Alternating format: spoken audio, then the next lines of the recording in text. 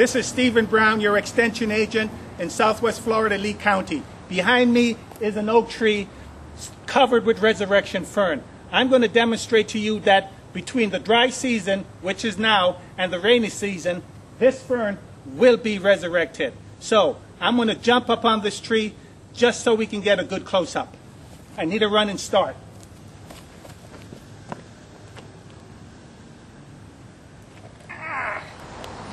Ah, almost fell, but it's worth the effort. All right. Resurrection fern. In the month of mid-October, it's all dried out. There's a single leaf. You can see it's all dried up. What will happen when the rainy season come? Well, that's when we see miracles take place. This is July, and we're in the start of the rainy season.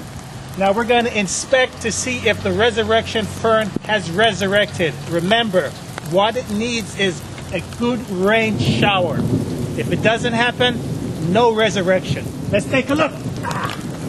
This is what we saw several months back, and it just hasn't happened yet. It still looks wilted, and we just have to wait for some more rain to occur to see the full effect of a basically withered plant coming to life. So we're going to be back in a couple of weeks and we'll see what happens.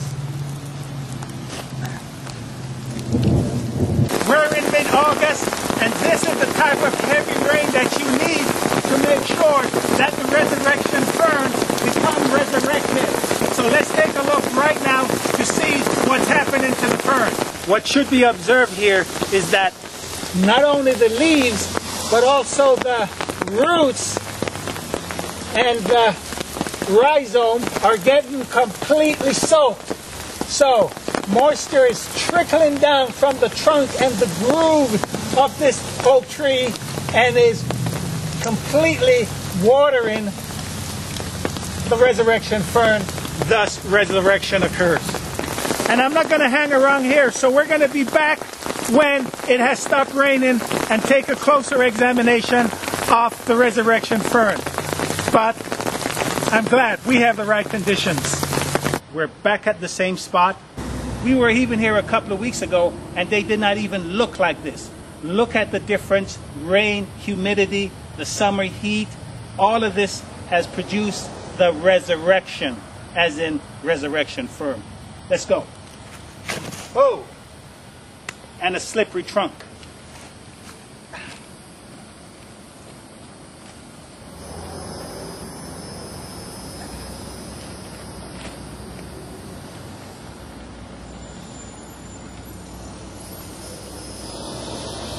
Look at this splendid display of the resurrection fern. Here we have a close-up of what it looks like. And it's really a colony, or it appears to be a colony of one plant hooked, hooked together by what we call rhizomes and the, the individual leaves are what we call pinnate and relatively small as ferns go.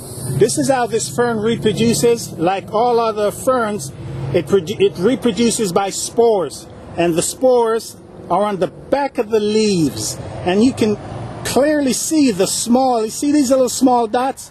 These contain the spores, and when they're mature, they pop open and spores are distributed, land on more oak trees and anything else that it can grow on. From its massive roots below, all the way up and up on its massive limbs, you can see that this live oak tree is laden with resurrection fern. And if you were here on this tree with me, it's an amazing sight. This is Stephen Brown, Lee County Extension Service.